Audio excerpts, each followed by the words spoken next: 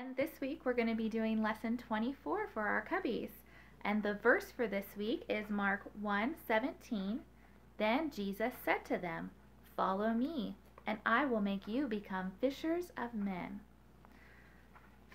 All right, cubbies, do you know what time it is? It's time to see our friend Cubby Bear. Let's call him together. Are you ready? One, two, three. Cubby! Hi, everyone. Cubby, it looks like you're trying to dry off. How did you get so wet? uh, the water splashed on me when Timothy and I were in the boat. In the boat? I thought you said Timothy's boat was too small to ride in. uh, it is. Uh, we were in a, a real boat. A real boat? Did Timothy's dad take you out in the fishing boat? Um, not exactly. um, we were playing with Timothy's little toy boat by the creek when I saw his dad's fishing boat lying on the shore. I went over to sit in it. I just wanted to see what it felt like to sit in a real boat. Uh oh, that doesn't sound good. Timothy came over and we started playing a game in the boat. I guess we were moving around too much because soon the boat slid into the water and Timothy and I were in it. I was afraid that that might happen. What did you do? Were you scared? At first I was a little scared, but then I saw a fish swimming close to the boat. I like fish. Fish are fun to watch. How many fish did you see? well, let's see. Um, one, two, three. Hey, hey, cubbies. Hey, boys and girls, will you count with me? Yeah. Let's count them.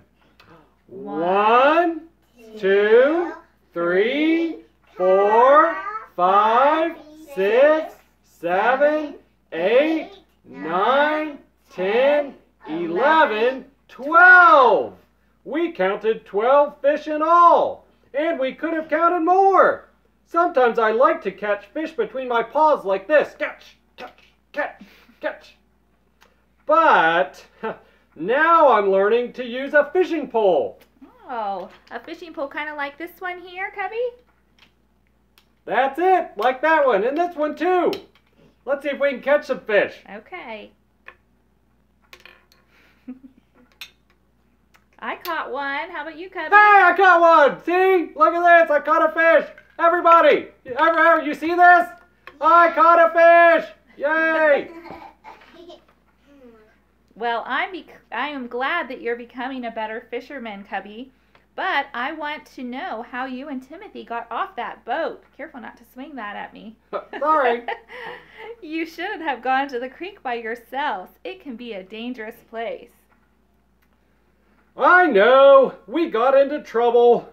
I'll tell you what happened next week. I need to share my towel with Timothy because he's wet too. See you later, cubbies. Happy fishing. See ya. Goodbye. Bye, Cubby. Bye, bye, bye, bye. All right, is everyone ready to sing our favorite song? Yeah, our Cubby yeah. song? We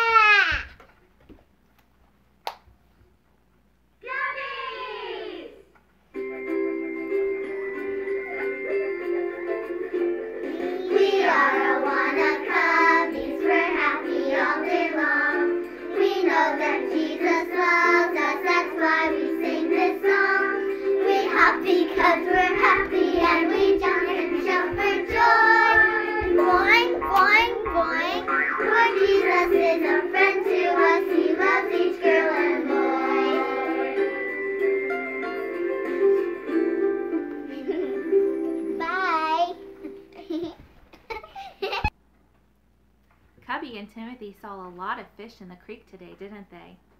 Now we're going to hear about some real fishermen from the Bible. These fishermen were used to seeing lots and lots of fish, but one day they couldn't find any fish at all. Then they met Jesus, and something really big happened. So our Bible is open today to Luke 5.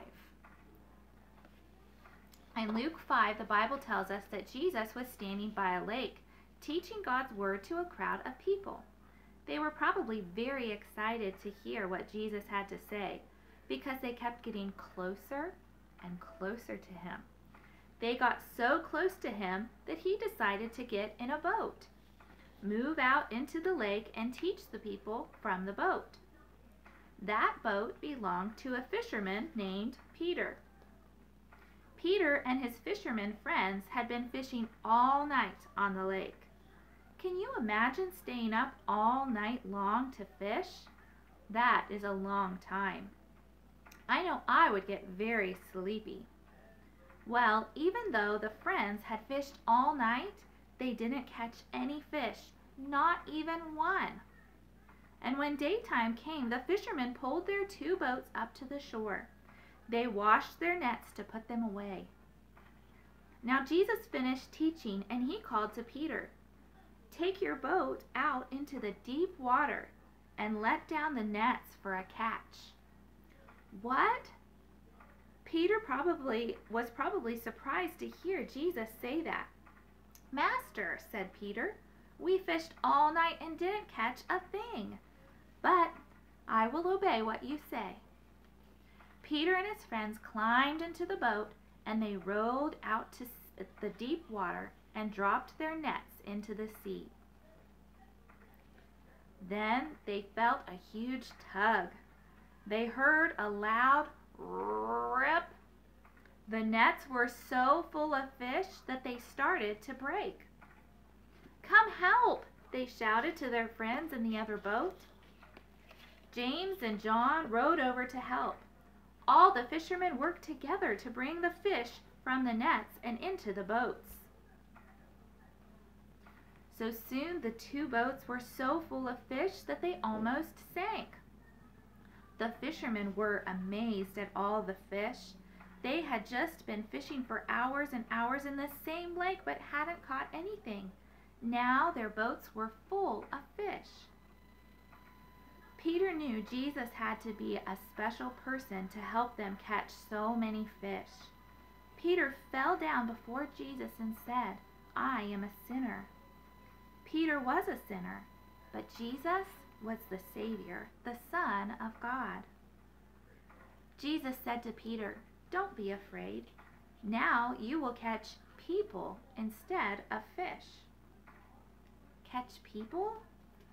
How do you catch people? Do you use your fishing pole to catch people? Let's see. Let's see if I can catch anybody with my fishing pole. Hey, look, I caught somebody. No, that's not going to work. Do you use a net like the fishermen did to catch people? Hey, let's try it. Hey, I no, that's that's not gonna work either. That won't work. Do you have to maybe run really fast to see if you can catch people? that's probably not gonna work. Cubbies, what do you think Jesus meant?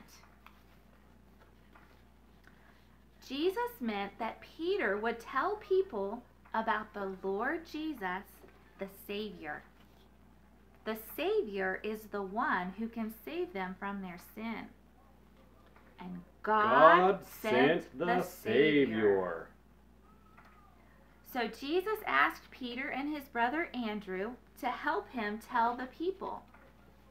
Then Jesus said to them, Follow me, and I will make you become fishers of men. Mark 1:17.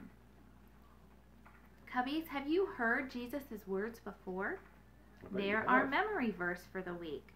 Whenever I talk about the people Jesus asked to help him, repeat the verse with me, okay? So, Jesus asked the other fishermen, James and John, to help to help him tell the people. Follow me, and I will make you become fishers of men. Peter, Andrew, James, and John left their fishing boats and their nets. They left everything to follow Jesus. After Peter, Andrew, James, and John, Jesus asked Matthew, Philip, Bartholomew, Thomas, James, Simon, Thaddeus, and Judas Iscariot to help him tell the people. Follow me, and I will make you become fishers of men. These 12 men were called disciples or also apostles, and they traveled everywhere with Jesus. Let's count how many of them there are. One, two, three, four, five, six, seven, eight, nine, ten, eleven, twelve. Jesus asked many more men and women to help him also. These men and women told people about the Savior, and those people told other people. Now there are many followers, followers of Jesus all over the world, people like you and like me. Jesus says the same words to us. He says, Follow me, and I will make you become fishers of men. And we can follow Jesus and be fishers of men. That means we tell others about the Lord Jesus, our Savior. So All right, Cubbies, let's have a prayer. So in Cubbies, when we pray, we fold our hands, we bow our heads, and we close our eyes, and we talk to God. That helps us to remember that we're talking to God, and it helps us not get distracted. So let's pray now. God in heaven, we thank you for this time that we have to learn more about you. We uh, just pray that you would help us to become uh, better fishers of men, that we would tell others about the good news of our Savior, Jesus Christ. We uh, look forward to what you're going to do. We pray that you would please bless and be with all of the cubbies this week, that you would keep them safe wherever they are and whatever they're doing.